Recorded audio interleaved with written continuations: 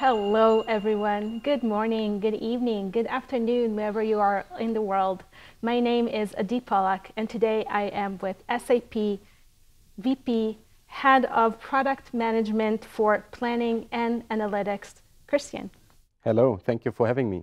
Thank you so much for joining me today. You know, I've been learning a lot about SAP technologies and all its great capabilities. Um, and I've been discovering that DataSphere is an integral part of BTP uh, strategy. So how is you know, today DataSphere integrated with SAP Analytics Cloud? So for us, the integration between DataSphere and SAP Analytics Cloud is one of our core priorities. Today, SAP Analytics Cloud integrates already with DataSphere, so we can connect DataSphere live to SAP Analytics Cloud and report on top of the analytical models inside DataSphere. Plus, we also have an integration for planning. For planning, we have a bidirectional data integration, so we can read data from DataSphere, also write back data into DataSphere, also with now a new Delta export capability.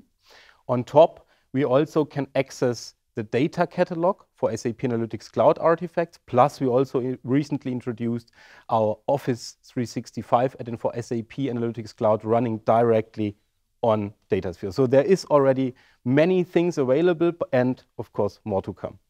Nice. That's fantastic to learn about all these great capabilities around data cataloging uh, and features and so on. Um, so I know you've been working also on the analytics part, right? Running product management yes. as part of the analytics. Um, and I've seen in the industry that predictive analytics using AI is a growing topic for you know, many customers and many companies. So how can I, as a customer today, integrate predictive scenarios using DataSphere? So in SAP Analytics Cloud, we already have a very powerful inbuilt predictive offering, which is called Smart Predict. And with Smart Predict, we can create predictive forecasts. But what we now have recently introduced is a possibility that we can take data from the data marketplace in DataSphere, take external data from data providers, load them directly into SAP Analytics Cloud Smart Predict, and leverage these drivers as external influencers to make our predictions even more powerful. So we load data from the marketplace through DataSphere into SAP Analytics Cloud predictions to create even more powerful forecasts.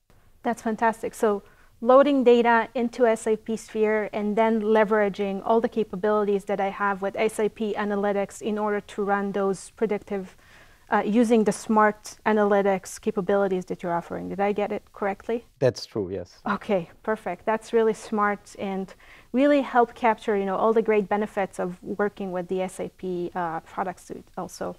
Um, thank you. Uh, so what are the next upcoming integration topics in the course of 2023? Yeah, so the integration between SAP Analytics Cloud and SAP DataSphere is one of our core priorities. So we are investing actively into an even tighter integration. So what we're planning for this year is that we continue to invest into our live reporting capabilities on top of DataSphere to get even more features on top of the analytical model into SAP Analytics Cloud. Plus, we also plan to leverage our newly introduced data analyzer in SAP Analytics Cloud so that it can directly connect on top of DataSphere models. That's fantastic. So actually giving customers more abilities to run their different analytics um, by, by adding more integrations and more kind of smart analytics for them to take advantage of. Yes. Cool. Um, so when you think about the future release of SAP Analytics Cloud and DataSphere, what do you see in the future that you're most excited about? In the, in the course of this year and next year, we are especially investing now again in the uh, BI capabilities. And then going forward, our next investment will be again into the integration between DataSphere with regards to planning. So we plan to integrate DataSphere with SAP Analytics Cloud in an even tighter manner mm. to reduce data replication between the products if it comes to master data and transactional data, but also metadata. So next big thing will be probably uh, planning with DataSphere. That's super interesting. So we have all these great capabilities when I'm thinking through, you know, as a potential customer, looking at SAP, combining SAP analytics together with DataSphere, they give me so many capabilities. So when thinking about customer journey, what is your advice for a customer today that want to, you know, take advantage of all these fantastic abilities? So we at SAP, we're totally committed to continue our journey towards the cloud. And with SAP Analytics Cloud, we already have an offering that is out there for seven plus years.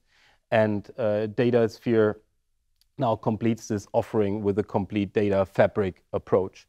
And my recommendation is for our customers, join us uh, in our journey, look into DataSphere plus SAP Analytics Cloud. We're committed to invest into these two products and um, let's start the journey together.